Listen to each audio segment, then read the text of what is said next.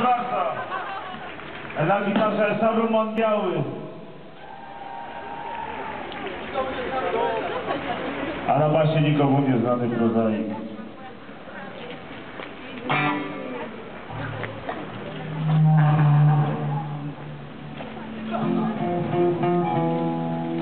Piosenka pod tytułem Remix.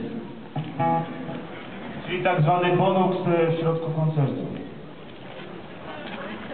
Ponoć, e, ponoć żyje poniżej e, poziomu średniej krajowej.